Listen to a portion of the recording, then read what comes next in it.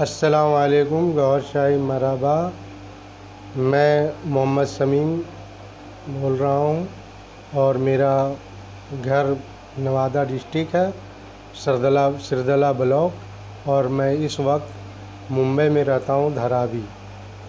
और मैं बताना चाहता हूँ कि मुझे कैसे सरकार के बारे में पता चला।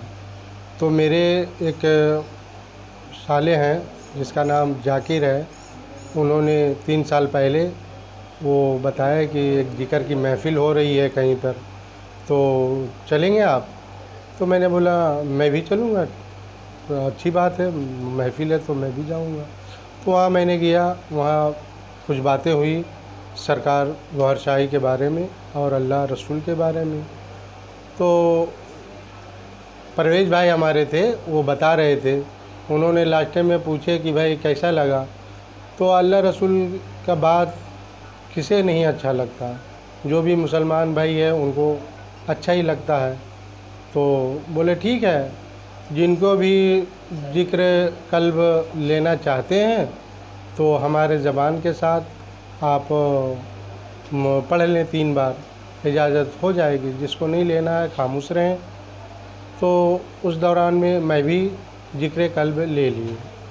तो शर्त बताएँ कि सात दिन में ये ज़िक्र जारी हो जाता है। तो मैं ज़िक्र जो लिया तो महसूस तो मुझे नहीं हो रहा था, लेकिन मैं बहुत फ़िक्रमंद रहता था। तो वो ऐसा मतलब मुझे भरोसा दिया गया कि चलेगा, आज नहीं तो कल होगा, सरकार कर्म करेंगे तो चलने लगेगा।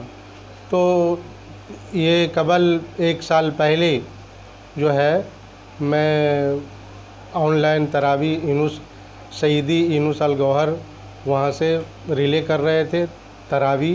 तो उस तरावी हम लोग चार पाँच जन मिल के पढ़ते थे।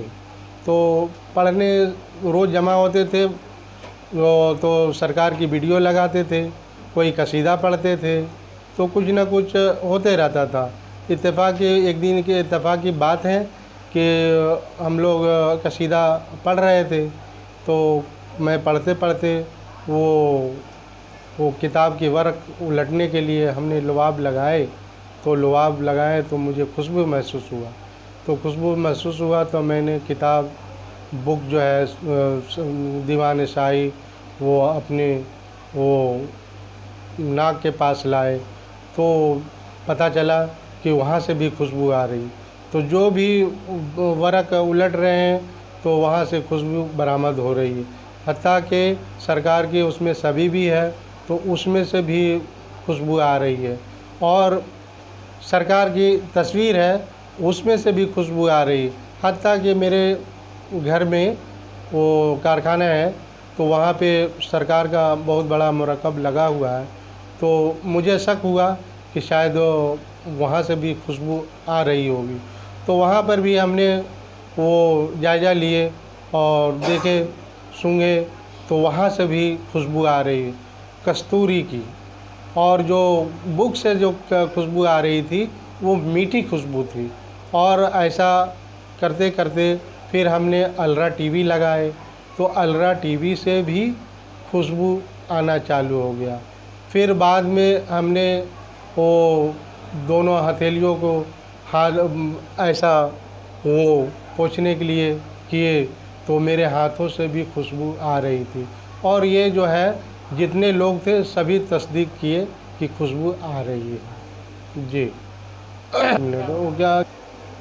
जी, नाजरीन से मैं मुखातिब हूँ, और मैं ये बताना चाहता हूँ कि सरकार का फैज़, इंतहा फैज़ है, दरिया छोड़िए, समंदर की भी फैज़ है। तो मैं नाजरीन से कहना सक कहना चाहता हूँ कि आप देर ना करें, जल्द से जल्द ज़िक्र कल्ब लें और आजमा के देखें और फौरी तौर पे आप अलरा टीवी यूनुस अलगौहर का देखें और फिर आपको पता चलेगा, जब समझ में आए तो आप ज़िक्र कल्ब ले लेना। सरकार हमारे इमाम मेहदी है। ये तो छोटी मोटी मरतबा है। इसके बहुत मरतबे हैं, ये मैं बता नहीं सकता हूँ। जब आप खुद आएँगे तो आपको पता चलेगा कि सरकार गौर शाही कौन है। गौरशाही गौर शाही मरहबा